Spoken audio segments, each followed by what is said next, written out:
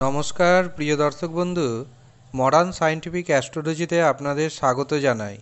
প্রথমেই মীন রাশির সমস্ত প্রিয় দর্শক বন্ধুদের জানাই নববর্ষের আন্তরিক প্রীতি ও শুভেচ্ছা। চোদ্দোশো সাতাশ বঙ্গাব্দে রাজা, বুধ গ্রহ, মন্ত্রী, শনি গ্রহ এবং শস্যাধিপতি শুক্র গ্রহ। তারা প্রধানত চারটি গ্রহকে ধরে চোদ্দোশো সাতাশ বঙ্গাব্দ মীন রাশির জাতক জাতিকাদের কেমন যেতে পারে, তার একটি অগ্রিম পূর্বাভাস দিব। সারা বছর বৃহস্পতি গ্রহ থাকবে মকর রাশিতে ও ধনু রাশিতে। শনি গ্রহ থাকবে মকর রাশিতে। রাহু থাকবে বৃষ এবং মিথুন রাশিকে। অন্যদিকে কেতু গ্রহ থাকবে ধনু রাশিতে এবং বৃশ্চিক রাশিতে।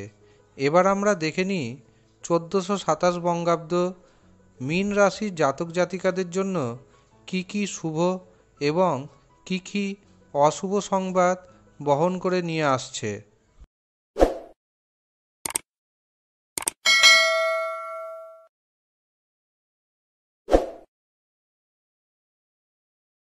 প্রথমে আসি শিক্ষা জীবনের কথায়। মীন রাশির জাতক জাতিকাদের চোদ্দোশো সাতাশ বঙ্গাব্দ শিক্ষাক্ষেত্রে মিশ্র প্রভাব পাবেন। প্রথম দুই মাস তেমন শুভ যাবে না এবং মাঝের যে চার পাঁচ মাস তা মিশ্র যাবে এবং শেষের দিক থেকে আপনাদের শিক্ষা জীবনটা আস্তে আস্তে শুভ হতে শুরু করবে। তবে যারা বিভিন্ন প্রতিযোগিতামূলক চাকরি পরীক্ষার জন্য প্রস্তুতি নিচ্ছেন, তাদের জন্য শুভ। আপনাদের বছরের মধ্যম ভাগ থেকে চাকরির সম্ভাবনা দেখা দেবে। বিশেষ করে আষাঢ় মাস, ভাদ্র মাস, পৌষ মাস এবং মাঘ মাস। এই চারটি মাসে কর্মপ্রাপ্তির সম্ভাবনা থাকবে সর্বাধিক।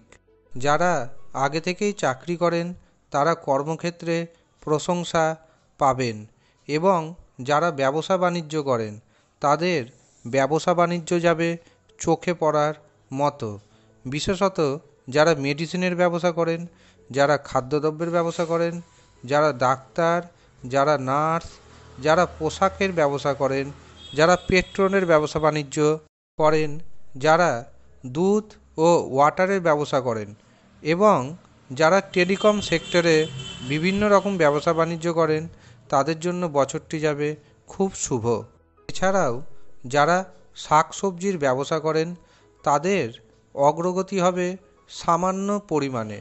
অর্থাৎ আপনাদের ব্যবসা যেমন আছে, তার থেকে সামান্য উন্নতি হবে। খুব একটা বেশি উন্নতি আশা করা যায় না। এবার আসি প্রেমের ক্ষেত্রে।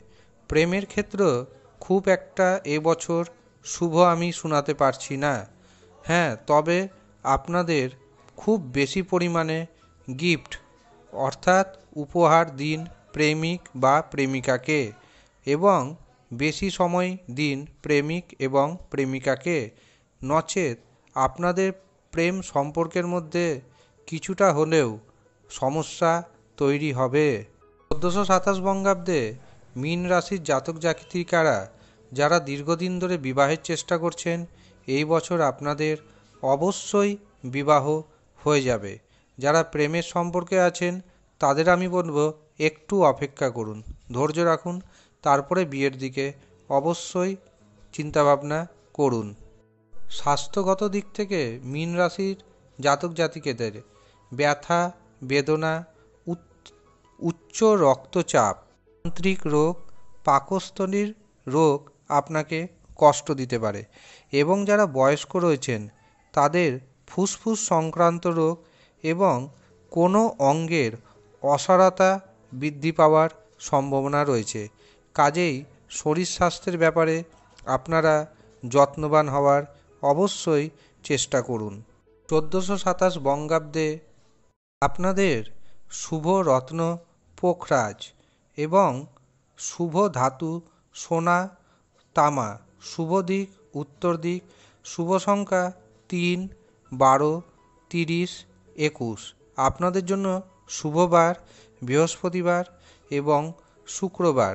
আপনারা যে তারিখে লটারি কাটবেন, সেটি হলো তিন তারিখ, আট তারিখ, বারো তারিখ, সতেরো তারিখ, একুশ তারিখ, ছাব্বিশ তারিখ, তিরিশ তারিখ, একত্রিশ তারিখ, বাইশ তারিখ এবং চার তারিখ। যে কোনো মাসের এই তারিখে আপনারা অবশ্যই লটারি কাটুন। তবে দেখবেন লটারিতে পুরস্কার পাওয়ার সম্ভাবনা বৃদ্ধি পাবে। সুস্থ থাকুন ধন্যবাদ।